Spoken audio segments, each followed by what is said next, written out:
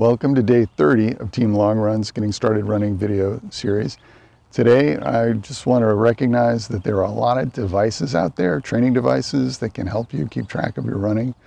Um, you've got watches that cover distance and time and pace. Um, if you carry your phone when you're running, um, it'll tell you your time and distance and pace. Those are all useful, but don't become a slave to your devices. Um, don't look at them and, and judge yourself based on the numbers you're getting on your device. Use them, uh, you know, that's fine, but don't be a slave to your watch, don't be a slave to your phone. Today's warm-up or strength exercise are going to be what are commonly referred to as a Superman.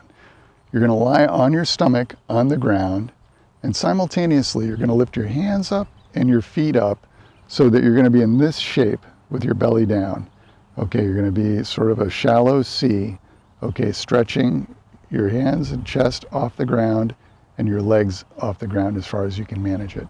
Um, get into your best position and then come back down. Best position and back down. I would do 10 of those at the most. This is your first time doing them. Um, it's a great core and back stretch um, as well as a strengthener. Today's workout is an old friend. It's my probably my favorite. It's the Easy Bee.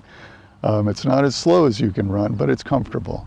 So um, get out between 22 and 25 minutes um, comfortably. Again, a talking, your breathing should enable talking, okay, but it's not your slowest jog. Um, go out, have fun. Today's day 30.